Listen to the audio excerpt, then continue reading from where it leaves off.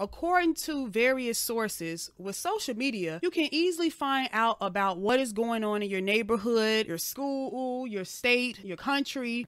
Jobs posted and applied for with the use of social media, whether they are part time, full time, volunteer positions, internships, or contract job. They can all be found on social media platforms that provide users with the ability to create their own unique profile of skills and interests. It gives a platform for cyberbullies to taunt and bully others. It is easier to bully others through social media than to do it physically.